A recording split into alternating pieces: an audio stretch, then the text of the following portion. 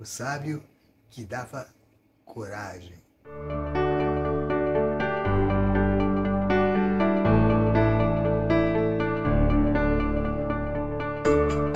Muito bom. Estamos aqui reunidos de novo para mais uma história. E essa história eu trago da minha infância.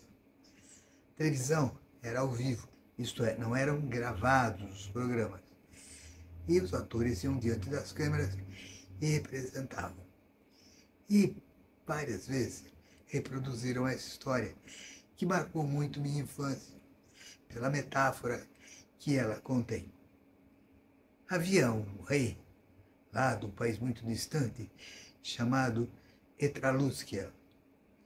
Esse rei era muito feliz porque ele era muito próspero, tinha muitos valores, terras, súditos. Mas ele tinha uma mágoa profunda, que era seu filho. Seu filho era absolutamente covarde. Se aparecia uma mosquinha, ele fugia. Se alguém falava mais alto, ele ia se esconder num cantinho, sempre assustado. Um trovão, um raio de sol estranho, tudo atemorizava o pobre rapaz. Queria ser príncipe. E esse rei estava muito triste.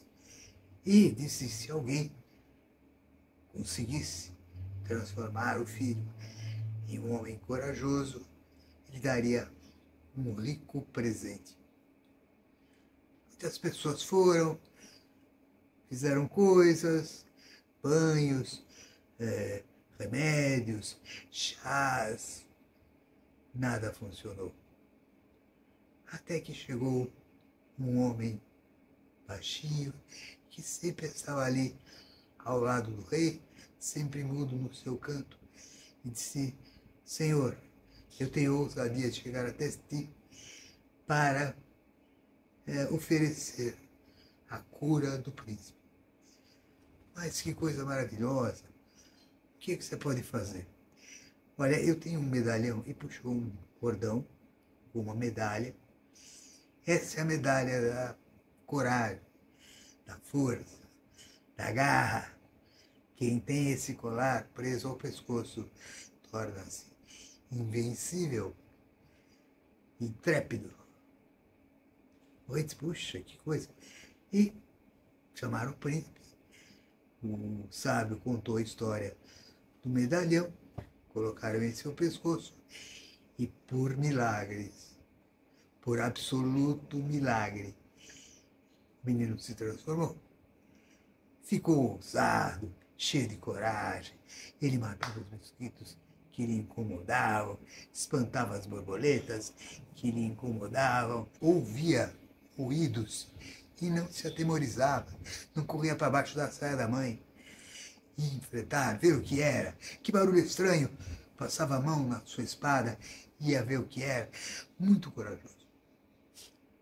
Tanta coragem, o rei resolveu primeiro dar um prêmio grande e dinheiro para o sábio, tanto que fez a vida dele, vivia ele, os descendentes, tanto dinheiro. Mas o rei quis comemorar aquele feito do seu filho e marca uma excursão onde passariam por uma floresta e iam acampar nessa floresta para passar a noite. O príncipe não quis nem proteção.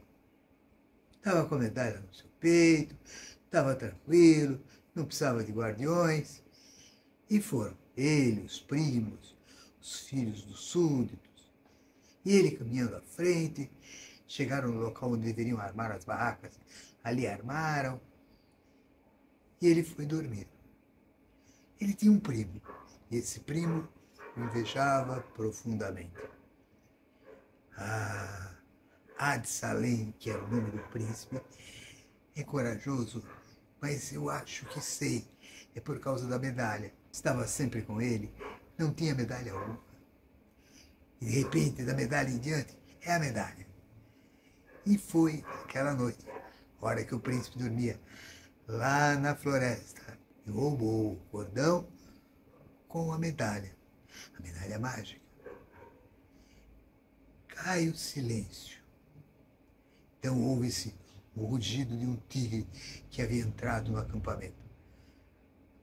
Com o pouco fogo que ali havia, puderam ver os olhos vermelhos do tigre. Era um tigre gigante, tenebroso, perigosíssimo. O príncipe não teve dúvida.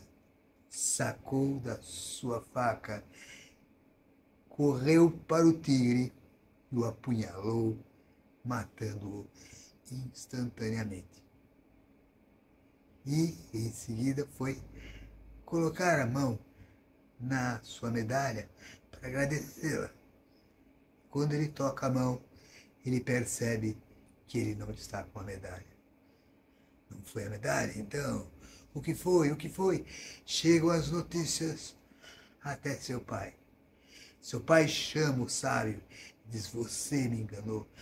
Você disse que ia dar coragem para meu filho e a medalha era uma fraude. Senhor, espera um pouco. falei que eu ia dar coragem. Falei que eu ia fazer o seu filho tornar-se corajoso. A coragem já estava dentro dele. A medalha foi apenas o gatilho que disparou esse processo da coragem, da força. A força estava com ele. Não havia necessidade de nada extraordinário, apenas despertava. É a mensagem dessa história. Todas as forças já estão conosco. É preciso que nós procuremos e encontremos qual é o gatilho que vai disparar. Se você busca sucesso na vida, se você busca um amor verdadeiro, se você busca coisas mais profundas no mundo da espiritualidade, tudo isso já está em você. Pelo simples fato de você poder pensar nisso, está dentro de si. É preciso fazer com que isso venha à tona se exploda e se mostre a todos ao redor que é possível você ser o exemplo vivo da possibilidade do grande despertar. O beijo do cavaleiro nos lábios vermelhos da menina que está adormecida numa caixa de vidro no meio da floresta. Nos vemos na nossa próxima história. Até lá então.